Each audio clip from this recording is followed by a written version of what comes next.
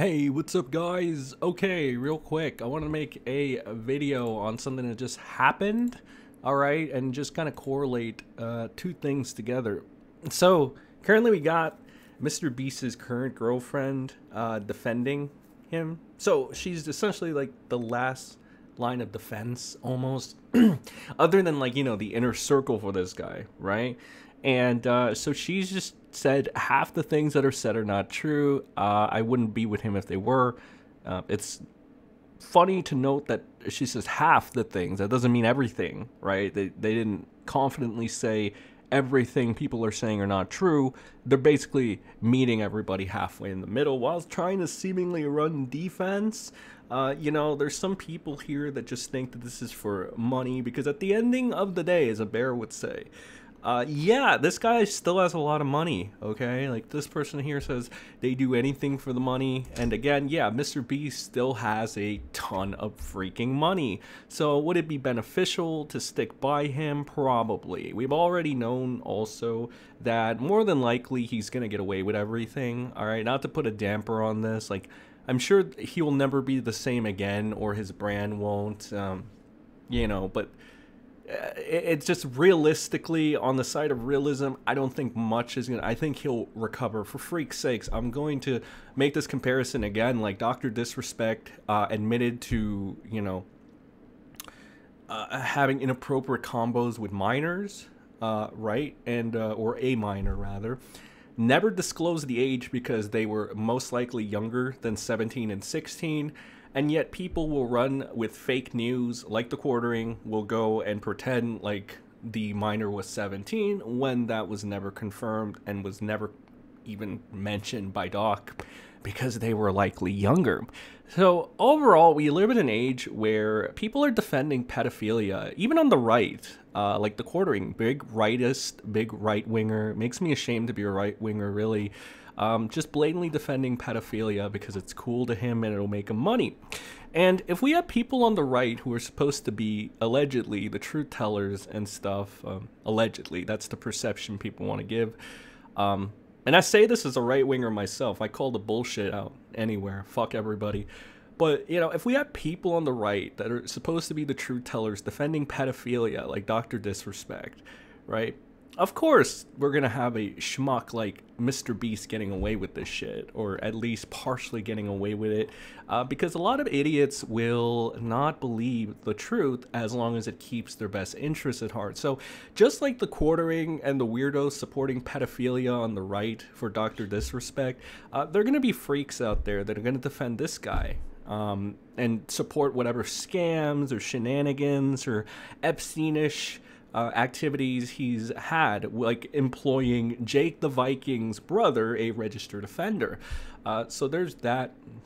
I know people are saying she's saying that things are being made up in general. Terrible choice of words from her by the part saying half. So again, this person pointing out what I just said. Okay.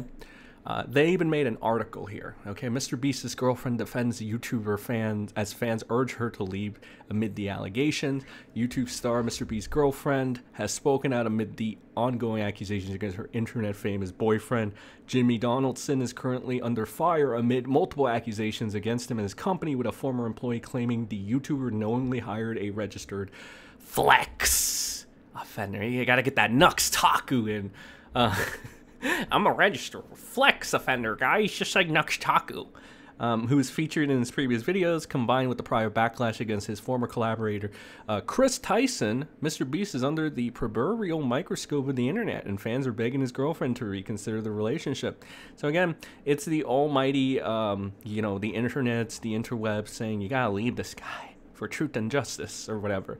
Um, I'm sure some people have good intentions in mind when they're trying to tell her to leave this guy. Uh, other people probably have like a more nefarious reason or just don't care or they're just doing it for their own personal gain, which is to, you know, attack Mr. Beast even more which is fine, you know, all's fair in that in that kind of environment and given the people, the players in this, right?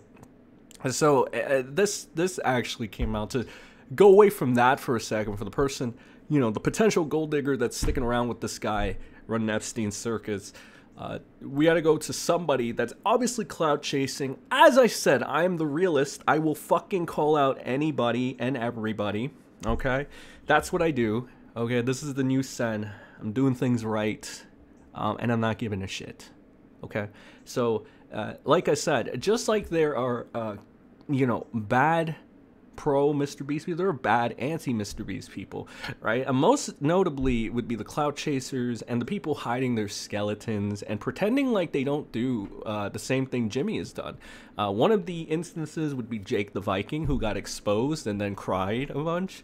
Another one is uh, Lily, uh, a Shane Dawson sounding grifter um, small grifter uh, going larping around, who, by the way, had a uh, Discord mod a pedophile Discord mod that he knew about and didn't do anything. Instead, chose to deflect, kind of like uh, a lot of people in Jimmy's circle are doing. But again, that's a story for another day. The point of the matter is there are a lot of Mr. Beast grifters out there that are now trying to use this situation as a way to elevate themselves and hide their skeletons. Um, in this instance, though, I do believe it is more of a clout grab from a ex Mr. Beast girlfriend. Went ahead and realistically, this was a whole lot of nothing. Um, maybe if you're on the emotional side of things, you know, this spoke to you in some enlightening way.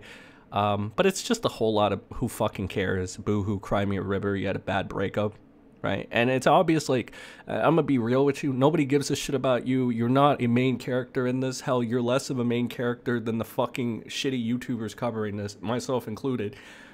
It's like, you know, unless there's something amazing that is going to nail this guy.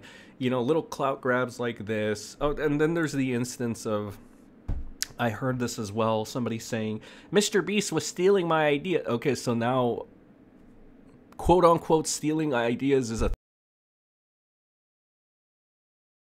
I just think that the anti Mr. Beast crowd kind of needs to chill. I know you want blood and stuff, but stick to the things that are actually gonna, you know, get this guy and not make yourselves look like ass clowns in the process or clout hungry goblins like Jake the Viking. Um, you know, while Jake the Viking defends pedophilia because he decided he's not going to blame his brother in law for his actions. He's actually going to blame the 11 year old uh, because he thinks that's smart. So, again, a lot of bullshittery happen around, a lot of uh, fuck shit going around, if you will. But the ending of the day, ladies and gentlemen, we need to stand strong in this quest, if you want to call it, against Mr. Beast, okay? You know, feast on the beast and all that good nonsense while keeping the clout chasers, uh, you know, the obvious ones in check, right? And disregarding stupid, weird, emotional statements that don't hold any facts that are going to actually do anything uh, to get this guy, right? Because that's just like father, and you don't need that. but again, I just felt like uh, going ahead and catching you up. Jimmy's little last line of defense, um, along with his inner circle, uh, seems to be his current girlfriend. Uh, I'm actually, I'm actually curious. I want to pose the question uh, to you, loyal viewer. Do you think this chick is just sticking around for the money? Like, is she, eh, eh, you know, is she a gold digger, or is she, uh, is she know more than than we? I, I'm gonna just keep it real with you. It doesn't even look like it she said half. She said half. She's not even she's not even saying everything that everybody said. No, half because not even they can defend him that much because they know that a majority of the stuff is probably fucking true. So, again, look forward to the Jimmy response. As of now, this is the last uh, little update that I wanted to stuff together, right? Because, you know, people were like, oh, you know, the X came out and, uh, oh, this guy talking about stealing ideas and blah, blah, blah. And I'm like, you know what, I'll just cover all this in one fell swoop. Uh, and yeah.